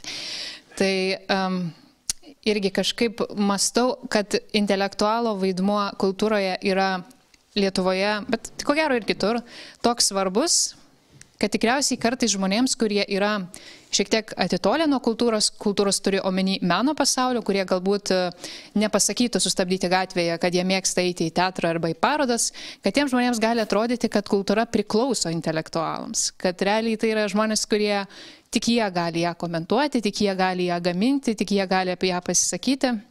Ir čia yra tai, dėl ko aš spirgu, man atrodo, čia yra tai, su kuo aš susiduriu kiekvieną mielą darbo dieną, nes man atrodo, kad taip e, nėra. Ir kad tas, e, nepaisant to, kad intelektualai labai svarbi yra kultūros dalis ir kad jie labai daug sukūrė ir kad jie rengia puikius kultūros komentarus kultūros savaitai, viskas to yra puiku, bet kartais man atrodo to baisus tas žodis elitizmas, bet jo kartais yra šiek tiek per daug. Ir, ir jo kartais gal reikia tiesiog nuleisti iš padebesių tą kultūrą ir, ir tuos kalbančiuosius apie kultūrą taip pat nuleis žemyn. Ir gal tai ir yra atsakymas, kodėl kultūros laidos nėra tokios įdomios platesniai auditorijai, nes tai ir lieka intelektualų, intelektualinių ratelių, pasikalbėjimo, aptarimo klausimas. Aš galbūt dabar kalbu taip labai apibendrintai, e, aišku, visokių yra pavyzdžių, mm, bet tai gali būti priežastis. Nes, nežinau, jeigu mes paklausytume arba pažiūrėtume vokiečių arba amerikiečių reportažus, radio, televizijos ar skaitytume, skaitytume tekstus, tai tiesiog kas labiausiai juose žavi, tai yra tas nenuginčiamas universalumas. Tu iš karto supranti, kad tai visiems yra aktualu, kažkoks dailės kūrinys, meno kūrinys. O man atrodo, ką aš ir jaučiu, kad aš pati tame užstringu darydama radio laidą apie kultūrą, apie meną, kad kartais e, sunku surasti tuos dėmenis, kodėl tai mums visiems yra svarbu. Ir, ir jo, tada ir išeina taip, kad čia kažkoks intelektualus susitikimas, nes mes aptarėme tik tai didžio proto žmonės liečianti klausimą.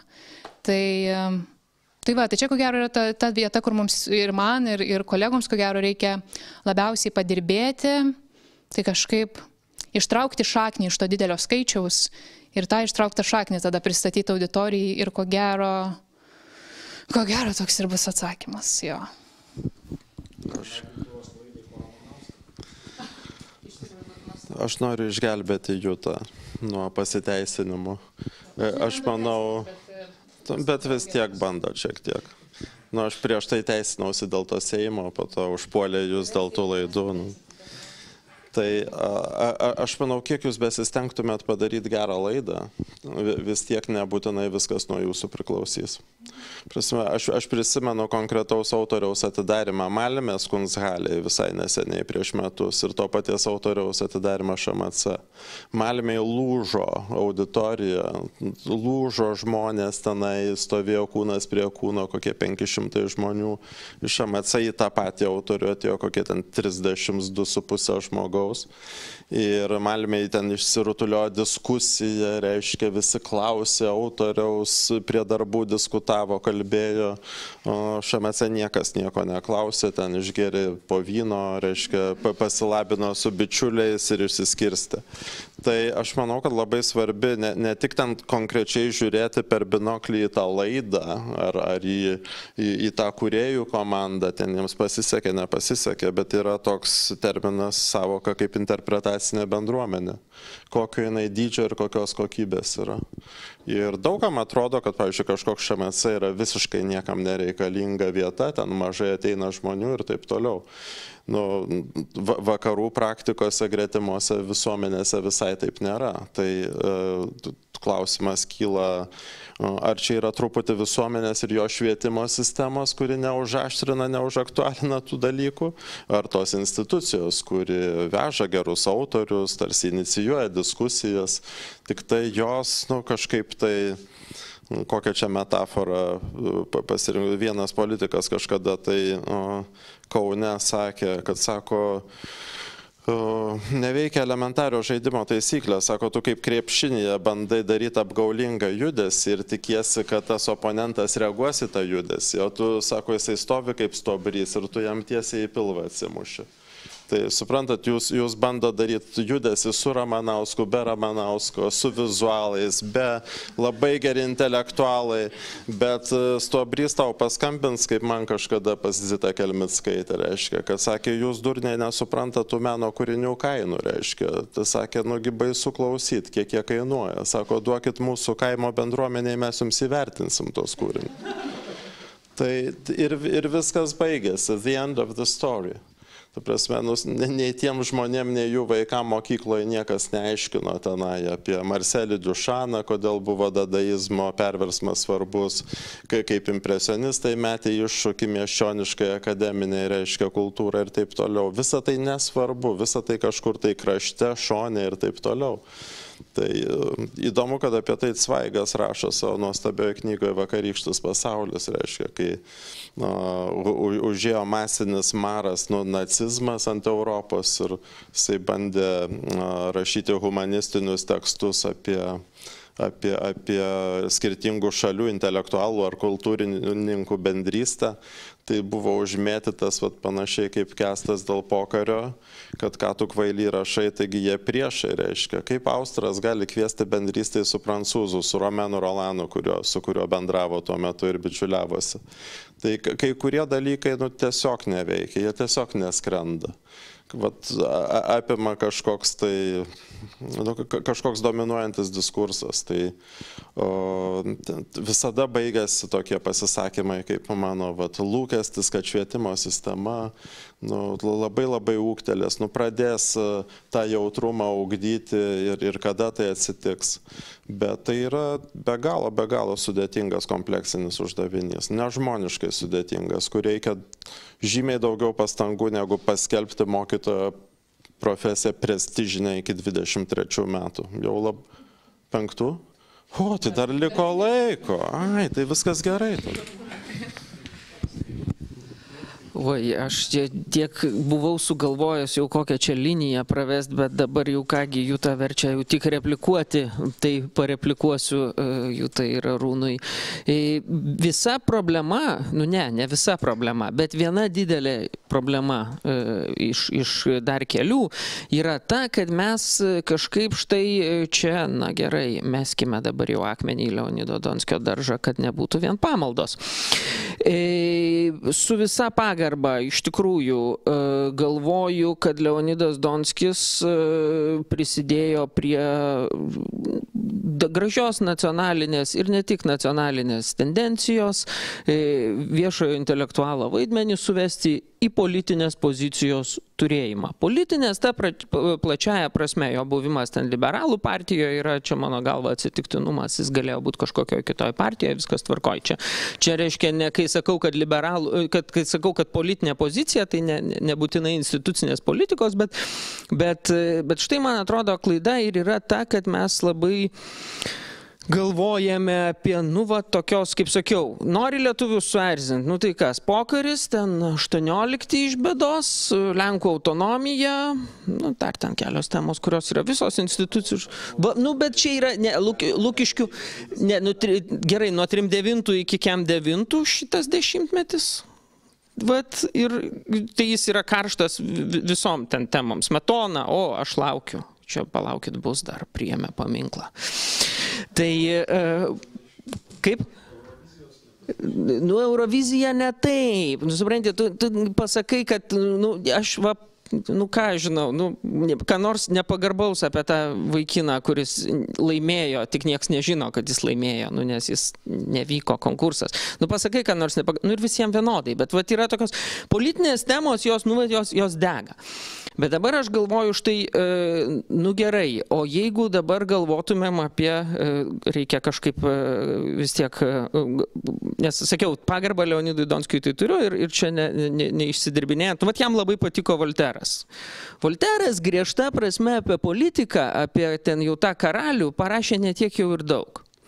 Bet jisai, reiškia, turėjo, nu, tokį, vat, nu tokį edukacinį angažuotumą, rašė žodynus ten visokius, nu gerai, ne, ne Didro, kuris man šiek tiek labiau patinka, kur, kur jau ten visai rašė enciklopediją, bet, bet jeigu taip galvoji, kaip atsiranda net tie tokie viešosios pozicijos, nu ne Sokratas, bet apšvietos ten koks ketvirtas, tas Ruso, Didro, Volteras, e, Montesquieu, nu jie, jie turi kažkokį tokį, nu, Nu, vad reikia šviest liaudinį, šviest žmonės, vad reikia eit, eit kalt, zyst, veikt laiku ir nelaiku, ir ten mokyt, mokyt, nusakyt, nu, vad, dadaistai, vad, Diušanas, vad, ten dar kažkas, ten Heideggeris, Matijopelis, dar ten, nu, kalt, žinokit, vad, žinokit, žinokit, žinokit. Nu, ar mes tą kažkaip darom? Nu, nedarom. Tada sakom, kad O žinai, taip visuomenė, visuomenė, žinot, yra nepasiruošusi. Ne, ne, negali, čia per, per kietai varot, per nelyg hardcore'as. Nu ne, kažkaip man atrodo, mes, mes kartais esam linkę, e, taip, ta, ta, ta klausytojų, reiškia, ta tikslinė grupė, ne, sakykime, yra pakankamai maža, bet, bet ką, ką mes darom, kad ją plėst? Nu, Aš čia savo turiu šitą visą laiką, ką, ką aš padariau, ne, bet man blogai. Aš kolegams universitete sakau, žiūrėkit, tai mes verkiam, kad mums atlyginimo nepakelia. Bet mokesčių mokėtojams mūsų atlyginimai yra dzin, todėl kad jiems yra apskritai, va, filosofas yra dzin. Nu, jiems dzin. Nu, ką, ką, ką tu, Jonai, Petrai, Ona ir Marija padarėjai, nu, kad, va, Heideggeris būtų ne abrakadabra, bet, nu, kažkas, nu, pačiu, nu, supranti, va, toks. Pa, Nu tada visi sako, tu narodnikas, žinai, tu nori čia, sakai, eikime žmonės. Ir čia e, klausimasgi buvo, kai institucionalizuojasi. Tai pavyzdžiui, man toks yra labai įdomus pavyzdys, e, va Rimvidas Petrauskas, pakalbėsiu apie savo universitetą. Jogi nežinojo niekas prieš metus kokius, ne, ten, nu, prieš du, žodžiu. Istorikai sako, o čia vienintelis žmogus, kuris gali Vytauto biografiją parašyti, vienintelis viską žino apie Vytautą. Nuo batų išmėros iki ten Bet, bet va, pavyzdžiui, institucionalizavosi rimvidas ir jau žiūrėkit, va, štai jau Baltarusė Nežinojot, reikia sakyti Baltarusija, Europos unija. Žodžiu, jis rašo Delfiją, jis bando vat, kažkaip tą, nu, vad šviest, sakyt, kals, ne, kal, dešimt kartų pakartos Europos uniją. Jis ten turi, reiškia, tokia idėja, kad čia reikia žiūrėti į abiejų tautų respubliką, Lenkijos Lietuvos uniją. Nu, ta idėja pagrįsta, nu, pakartos šimtą kartų, ne, išgirs kažkas, vat, ta, ta bendruomenė nu, kažkaip atsiras, atsiras, atsiras. Nu, gal, gal ir Baltarusija kada nors bus ne Baltarusija. Kažkiek irgi yra istorinis argumentas. Bet žmogus ateina iš savo žinojimo, jis gauna staiga gauna institucinį svorį, tampa Vilniaus universiteto rektoriumi, mane ten visi šaipėsi, kad čia yra turbūt kaip popiežiaus rinkimai tokie, visi va, paskelbė tą dieną ir jau LRT praneša, išrinko, žinote, čia mums patiems jokinga, negalvokit. Tai čia kalbu iš, iš Vilniaus universiteto darbuotojo pozicijų. Tai, tai nu, jis gauna šitą va, tokį pasitikėjimo mandatą ir tas jam kažkokį tokį va, išlaisvinančių suveikia. Iš tikrųjų, man atrodo, jis kai tapo rektorium, jis viešai tapo žinomas gerokai labiau, nei kad jis buvo prieš tai. Va. Ir, ir bet, bet man atrodo, ne dėl to, kad jis, buvo, kad, kad jis dabar tapo rektorium, bet dėl to, kad nu, jis kažkaip va, įgyjo va, tokios intelektualinės drąsos, nu, sureaguoti į Nu gaila, aišku, kad politikos problemas man norėtųsi, kad biški daugiau būtų. Taip, mūsų laikas po truputį jau juda į pabaigą, bet aš turiu dar vieną klausimą. Čia tiesiog norėjau reaguoti tai, kas pasakyta, bet kadangi aš nesu svarbiausias žmogus, tai, tai tada nutilėsiu. Tiesiog truputį, truputį keičiant temą vat, ir prisiminus, ką jūs kalbėjot. Jūs visi kalbėjot apie intelektualus, daugis kita, tai čia nėra skirtumo, bet vienas kita intelektualas, intelektualas, intelektualas. Kodėl nebuvo paminėta nei viena intelektualė, kodėl intelektualų tarpe yra taip mažai moterų, Lietuvoje turiuomenį, kad jos nėra taip pastebimos ir nėra tokios ryškios kaip Rimbidas Petrauskas ir visi kiti, kurie buvo paminėti, tai aišku, Jūta ko gero čia bus. Su visa daroma pagarba. Štai koks atidus klausytojas. Taip, taip. Oi, tai čia, jo, jo, galėtų iš tikrųjų ir daugiau Lietuvos jas pažinoti, bet iš vienos pusės, uh, nu tiesiog atsakymas labai paprastas. Seksizmas yra rimta problema, ji tikrai visur egzistuoja, ji niekur neišnyko ir tiesiog neapsimetinėkim, kad kažkas e, keičiasi, keičiasi, bet labai mažyčiose, plonuose, burbuliukose, sluoksniuose, iš kurių išėjus mes grįžtam į, į labai dar tamsias vietas, tai yra ko gero tai atsakymas.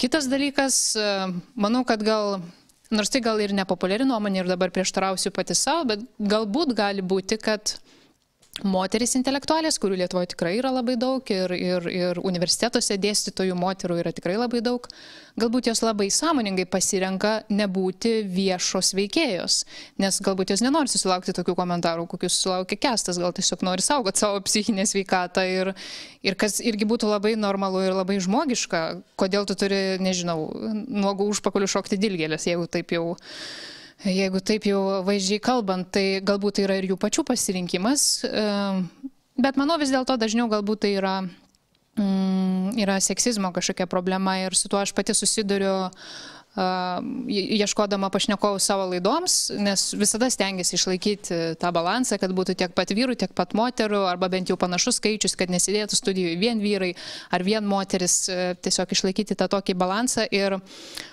Tokia labai įdomi detalė, negaliu pasakyti, kad su to esu susidūrus labai dažnai, bet atkreipiau tikrai dėmesį, aš žurnalistinį darbą jau dešimt metų praktiškai dirbu, tai manau, kad jau galiu daryti tokias išvadėlės, šiokias tokias. Aš esu tikrai ne vieną kartą, pavyzdžiui, sugavoju kažkokią temą, nesvarbu, kas tai bebūtų, ar konkretaus miesto kultūrinis gyvenimas, ar nauja kažkokia paroda, ar kažkokia socialinė problema, kultūrinis reiškinys Ir, ir paskambinu, tarkim, pašnekovui vyrui, laba diena, aš čia tokia tokia, noriu pakviesti, gerai, puiku, viskas liuks, ateisiu, kilintą valandą, taip, gal gali čia klausimus, labai lengvai vyksta bendravimas paprastai. Ir jeigu aš paskambinu moteriai, kuri yra šiek tiek mažiau žinoma viešam gyvenime, kokia nors akademikė, menotyrininkė, kuri, kuri, tarkim, nėra pratusi viešai kalbėti žiniasklaidai, nu tikrai esu ne vieną kartą išgirdus, oi palaukit, aš nežinau, ar aš galiu kalbėti. Sustokim, aš turiu kolegą, kuris yra labiau įsigilinęs šitą klausimą, tikrai yra žmogus, kuris geriau atsakys už mane, kaip jūs iš viso mane susiradot. Didžiulis nepasitikėjimas savim, e, kuris, aišku, iš dalies galima sakyti yra to žmogaus asmeninė problema, bet vis dėlto reikia suprasti, kad tai yra patriarchalinės visuomenės šiokia tokia išdava. Tai va, tai, um, tai ko gero viskas susideda į tą pirmą žodį, kurį aš pasakiau, tai yra vis dėlto patriarchalinė, gana seksistinė visuomenė, kuri ir e, moterų pasitikėjimą savimi šiek tiek e, smugda žemyn.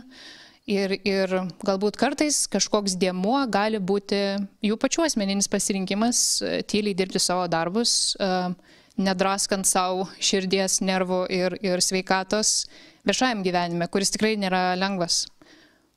Tai tiek tikriausiai.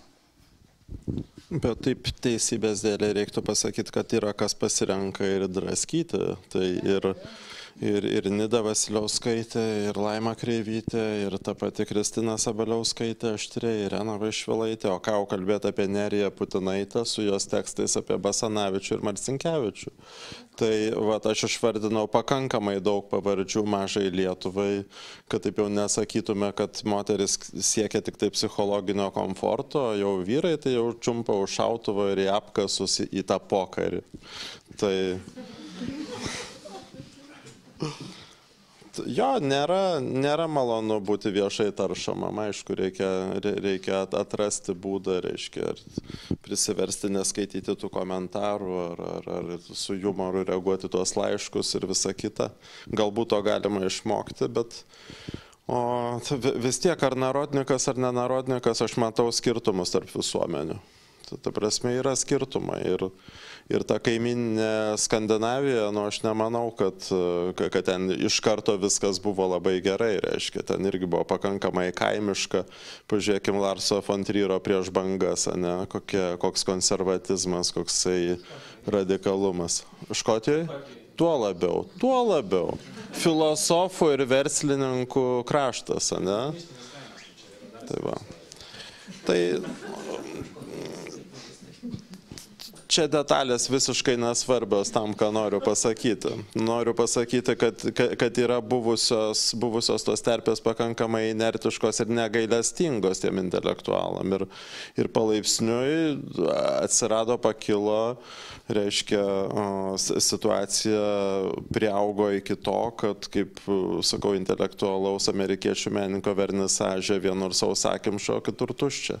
Ir tai yra tiesiog statistiniai palyginami dydžiai. Ir viskas viskas. Reiškia, kokio dydžio, kiek tavęs klausosi. Leonidas apie tai nuolat kalbėjo, apie tai nuolat kalbėjo, kad realiai tai, ką tu rašai, yra nu, svarbu keliam žmonėm vos. Ne, ir, Ir, ir tai yra reali problema, nu, ta prasme, dėl, dėl kiek tu draskaisi, ar, ar, ar tas tavo išgyventas drasus tekstas, reiškia, kurį paskaito septyni ir ten vienas paskambina, ar, ar jis sujudinamas, vyksta diskusijos, plačiai aptarinėja.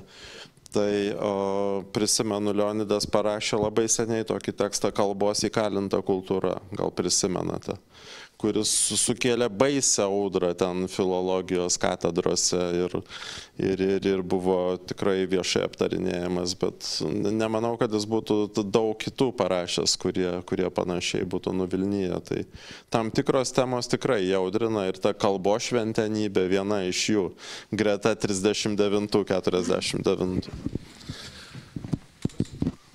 Čia tik trumpa replika. Tai aš visiškai sutinku su, su viskuo, ką sakė Jūta. E, o, o prie Arūno tai pasakysiu, kad šita puikia mintis e, paieškoti moterų man kilo ir aš tada apsikrečiau Aldžių ir padariau tyrimą. Aš nuėjau į jų visų Facebook'o profilius ir pažiūrėjau, kiek jos turi sekėjų. Nu, aš suprantu, kad čia statistika tokia yra tokia ne kažką. Tai vidutiniškas, vidutiniškas moters, nu, tokios, va, štai, žinomos, tokio atpažįstamo veido, nesakykim taip. E, sekėjų skaičius yra apie 2000, tai čia vidutiniškai, ne, su, su, su pakilimais. Tarp kitko, mano, mano nuostabai, kai kurios iš jų turėjo gerokai mažiau nei, nei, nei aš taip planavau rasti. O štai vyrų, tos jau žodžiu, ne, čia nekalbam apie, apie žodžiu, topinius, bet nu, tokius tokius, nu, kaip pasakyti, irgi atpažįstamus veidus, tai yra 5-6 tūkstančiai. Kodėl? Aš nežinau. Nu, jų, jų tos atsakymas man, man yra toks, bet, nu, kažkaip, bet, bet, nu, ne, kažkaip taip atrodo, ne, kažkaip čia labai per paprastai paaiškina, ne, nu, turi čia kažkoks samokslas būtų, ne, bet, nu, nežinau. Na ką, gerai, tai dabar dar leisiu savo užduoti paskutinį klausimą, tikiuosi atsakymai nebus labai išsamus ir paskui galėsime, galėsime šitą diskusiją pabaigti ir duoti progos užduoti klausimus auditorijai. Tai dabar įsivaizduokime, kad vat, stebuklų dėka kažkas tai pasižiūrės šitą mūsų diskusiją ir nuspręs, kad intelektualai yra labai gerai ir, pavyzdžiui, kokie nors tenai 16-mečiai, 15-mečiai, jie ir jos sugalvos tapti intelektualais. Jie, jeigu norėtų būti influenceriais, tai jie iš karto žinotų, ką reikia daryti, nes instrukcijų yra pilnas internetas. O dabar ką jūs rekomenduotumėte tiems uh, paaugliams, jeigu jie išreikštų tokį norą? Ar sakytumėte, šiukštu, ne, baikit, ryšam su tuo, nes yra blogai, blogai, blogai, ar visgi turėtumėt kažkokių pasiūlymų ir juos būtų galima vienaip arba kitaip įgyvendinti? Ai, labai paprastai. 2008 aš esu litmenį tokį straipsnį parašęs, kai buvau dar jaunas, nu jaunesnis bent jau negu dabar. Tai va, kaip tapti štai tokiu. Ten, ten viskas gali atrodyti kaip pokštas, bet šiaip tie punktai, kuriuos aš suvardinau, yra rimti. Tai paguglinat, susirandat, perskaitot, ten viskas parašyta. Aš, pris, o aš ši, apie šitą klausimą mąstydama prisiminiau uh, žmogų, kurį nežinau, ar mes galim vadinti intelektualų, turint omenyje gyvenimo būdą. Rašytojas Čarlzas Bukovskis, jo yra tokia plačiai internete pamėgta ir, ir visi dalinasi žodžiu tą citatą, kad į šiaip anglų kalbą, bet jos esmė yra rask tai, ką myli. Ir leisk, kad tai tave nužudytų, tiesiog ne ar perkelinę prasme, nežinau, bet iš esmės Nu, tu negali norėti tapti intelektualų, kas čia, kas čia per noras, e, kaž, kažkoks e, keistas. Tu turi visų pirma atrasti klausimą, kuris tau skauda, man atrodo, arba kažkokią temą, kažkokį sferą, kur, kur, kur tave piktina tam tikri dalykai, kur tu matai, kad kažkas galėtų būti e, geriau, kitaip, e, kad reikia apie tai kalbėti daugiau. Ir tik tada, kai tu rasi tą sritį ir būsi tuo užsidegęs, tik tada tave kažkas išgirs ir tik tada tavęs bus įdomu klausytis. Tai, tai ko gero čia yra esmė. Štai, kaip paprasta, ar ne? Tiesiog atrasti, ką nors, kas būtų įdomu. Na, mano patarimas tai toks neįtant greičio, nes dabar visko nori labai daug, reiškia, po, po pirmo, antro bakalauro kurso jau nori tūkstančio į rankas firmą ir taip toliau. Tai čia, čia ne tas kelias yra. Nu, aš žinau, O, tai o, šitą patarimą labai sunku duoti, nes jisai nu, absoliučiai nepatrauklus, lygiai kaip ir politikam investuoti švietimo sistemą, kurios rezultatai po 10, 15, 20 metų. Tai o, galima tiek pasakyti, kad reikia ilgai, ilgai aukti, norint tapti kietų ar, ar, ar, ar intelektualu tam tikros terpės, ar tai būtų istorikas, ar filosofas, psichologas, neuromokslininkas, ką, tik tai be paliestume.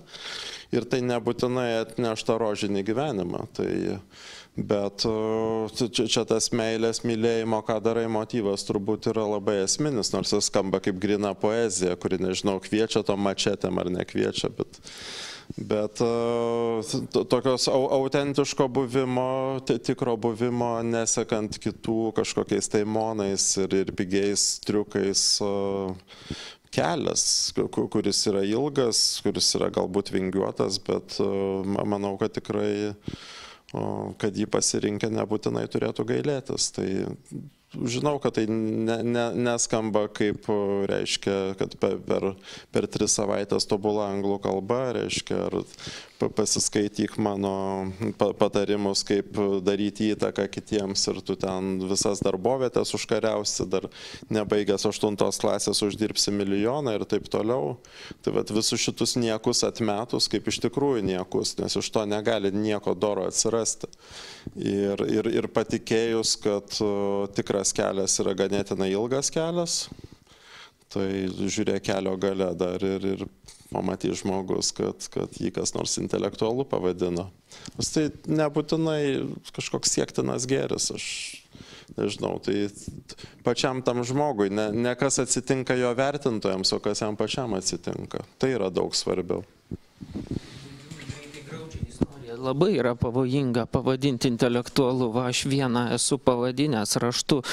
Po šiai dienai apsimeta, kad manęs nemato praeinančio. Įsižeidė žmogus. Vat nenori būti taip vadinamas.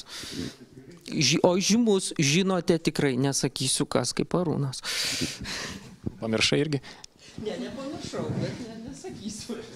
Gerai, tai kiek suprantu, galima rezumuoti tą paskutinį jūsų pasisakymą maždaug taip, kaip Džonas Stuartas Milas savo knygoje Utilitarizmas rašė, kad geriau būti nepatenkintų Sokratu negu patenkintų kvailiu, arba antra formuluotė, geriau būti nepatenkintų išminčiumi negu patenkinta keule. Gerai, tai šiuo atveju aš savo klausimų tikrai neišsėmiau, bet e, toliau eterio nebeteršiu jais ir turime galimybę užduoti klausimą va, šitiems trims žmonėms. Tai jeigu kas norite, tai jie yra jūsų.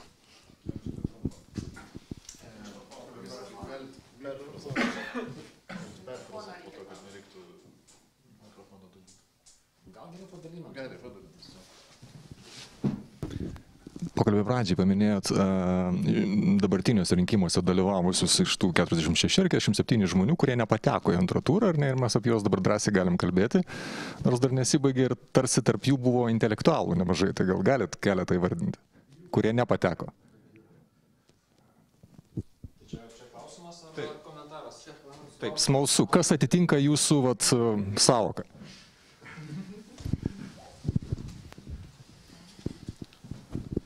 Tai e, toksai labai įdomus ir tipiškas simptomiškas pavyzdys tai yra Mantas Adomėnas, kuris baigė klasikinę filologiją, ten žino krūvą kalbų, vertęs Herakleitą, Cambridge'o daktaras, The Classicist, kaip jisai prisistato, reiškia klasikinės literatūros filosofijos žinovas, tai tikrai protingas žmogus ir, ir diskusijoms daug duodavęs, kurį tiesiog, vat, pacituosiu Leonidą, sunaikino maži ir nereikšmingi dalykai.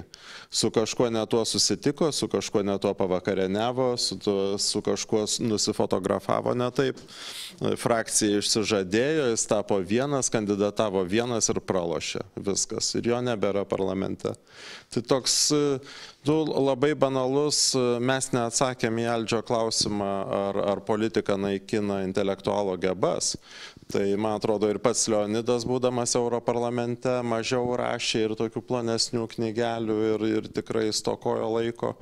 Bet vat, man to pavyzdys irgi toksai pakankamai skaudus, bet pakankamai simptomiškas, kad jisai startavo fantastiškai stipriai, reiškia, ir, ir vertimai, ir jų komentarai, ir, ir Cambridge'as, ir viešos diskusijos, ir, ir ta bendruomenė akademikų, kuri jį gerbė ir atpažino. Ir, sakykime, tarsi įsibėgėjo, na, kaip, kaip įtakingas balsas, reikšmingas, nors ten nu, kai kas jo nemėgo dėl, dėl tikro ar tariamo pasipūtimo ir taip toliau, reiškia, ir, ir pokšt per kažkokį tai, nu, paslydo tiesiog ant riešuto kevalėlio ar bana, banano žievelės ir štai jo nebėra viešajam gyvenime, nu, ta tokia tradicinė prasme. Tai, tai manau, kad man tas būtų ryškiausias pavyzdys, o kitų reiktų pagalvot, reiktų prisiminti. Nu, aš galiu greitai pasakyti dabar vėl taip keistai turbūt išpopuliarėjusi, ne kaip žmogų, kuris štai pranešė Palutskui, kad jis balvonas. E, Liutauras Gudžinskas, buvęs politologų asociacijos prezidentas ir tikrai visiškai ne, neturiu abejonių dėl jo, reiškia, intelekt, intelektinių gebėjimų ir gebėjimų būtent reaguoti į politinės realijas. E, jis gal čia nebuvo labai, labai garsus žymus, jis buvo socialdemokratų sąraše e, ir jis buvo Antakalnyje, ten tokiam, e, tokiam reiškia, linksmoj kompanijoje su, nu, praktiškai kaip, nelabai kas turėjo šansų, bet ten buvo kompanijoje žmonių, kurie, kurie yra, nu, jau štai, kas čia sakėte apie Jozaitį, tai Jozaitis su Račvilu yra štai liūdnojo vaizdo, nu kaip pamokslininkai jie būtų. Reiškia, aš netikiu nei vieno iš jų, vieną iš jų mačiau labai labai iš arti ir nuolatos. nes dirbome toje pačioje institucijoje, tai taip vadinamosi akademinėse diskusijose būdavo mitingas šalininkas, kažkas tarp mitingo kalbos šalininkams ir pamokslo bažnyčioje tokio prasto, tarp kitko, tokio labai neįtikinančio, kur kunigas rėkia ir moralizuoja. Tai va čia klausimas, ar jis tikratikis. Aš tai bijau, kad čia yra toksai, nu, vat, nu, toks reiškia žmogus, kuriam reikia savo sektos, kuriam tikratikių reikia. Ar jis tuo tiki? Žinot, aš gal būsiu skeptikas.